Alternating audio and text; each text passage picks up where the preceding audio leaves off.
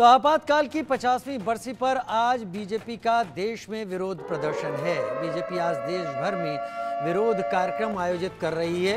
कांग्रेस के सत्तावाद को बीजेपी बेनकाब करने की तैयारी में है। बीजेपी मुख्यालय में जेपी नड्डा, बीजेपी के राष्ट्रीय अध्यक्ष, उन्होंने भाषण भी। बीजेपी मुख्यालय में जेपी नड्डा का भाषण। देश भर में आपातकाल की पचासवीं बरसी पर बीजेपी कार्यक्रम आयोजित कर रही है।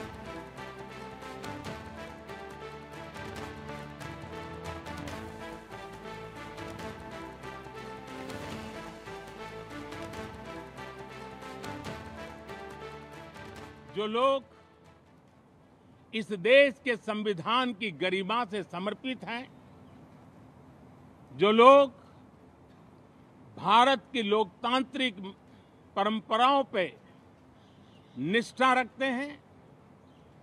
उनके लिए 25 जून न भूलने वाला दिवस है। भारत के लोकतंत्र में जो काला धब्बा लगा था, उसके 50 वर्ष हो रहे हैं।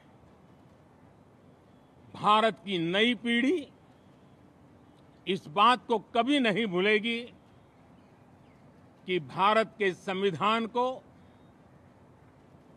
पूरी तरह नकार दिया गया था। संविधान के लीरे लीरा उड़ा दिए गए थे।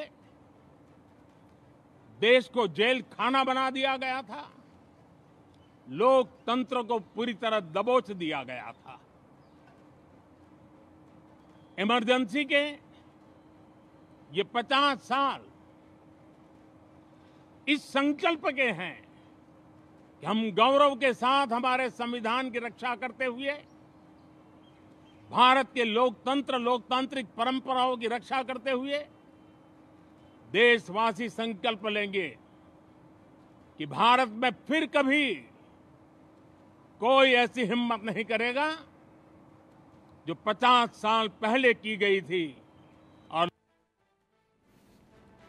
भारत में कोई भी ऐसी हिम्मत नहीं करेगा जो 50 साल पहले की गई थी। आपातकाल लगाने की बात पर प्रधानमंत्री कह रहे हैं, लेकिन 50 साल पहले आपातकाल को भी समझ लेते हैं। चलिए, ग्राफिक्स के ज़रिए भी हम समझते हैं।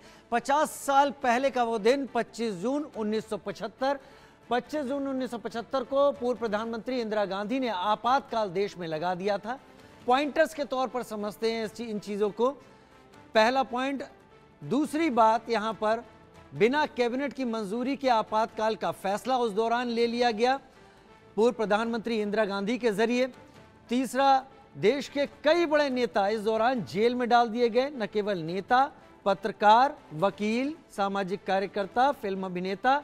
आपातकाल लगने से देश रातों रात, पूरा देश जेल खाने में तब्दील हो गया। पत्रकारिता जिसकी दुहाई दी जाती है लोक लोकतंत्र के चौथे स्तंभ के तौर पर, वो अपनी बातें तक आरएसएस की बात करें, उस पर पूर्ण प्रतिबंध लगा दिया गया इस दौरान। राष्ट्रीय स्वयंसेवक संघ की हम बातें करें, उसके कार्यकर्ताओं को जेल में ठूस दिया गया। प्रमुख अखबारों के कार्यालयों में बिजली काट दी गई और अगर कुछ छपना होता था तो सरकार की मंजूरी से ही छपना होता था।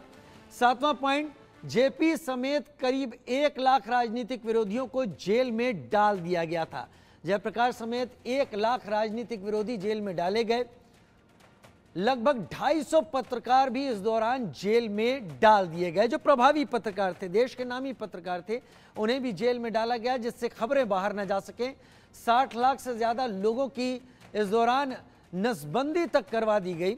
वो एक मुहिम चली थी तब, और दसवां पॉइंट 21 महीने बाद 23 मार्च 1977 को आपातकाल हट गया था। यानी 21 महीने तक देश ने वो दौर देखा जब ये समझ में नहीं आ रहा था कि आखिर क्या स्थिति हो गई है, आखिर देश किस राह पर जा रहा है।